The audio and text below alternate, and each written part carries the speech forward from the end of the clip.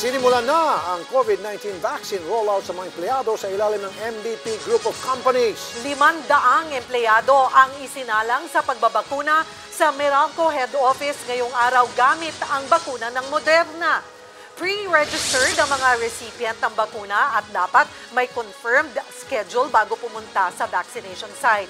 Sa kabuuan, halos sa 60,000 empleyado ang target maturukan ng bakuna ng Moderna at AstraZeneca.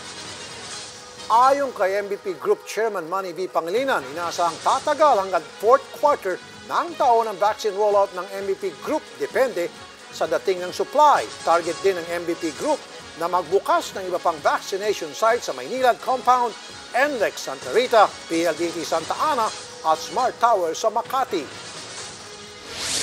this vaccination effort is extremely important to get us back to, you know, a big step uh, closer to to the normalcy that we all desire. Thank you all the companies for all the companies uh, for your help in procuring about 800,000 vaccines uh, uh, for our employees, their dependents, uh, the families of our suppliers, and uh, communities that we will, that we intend to help.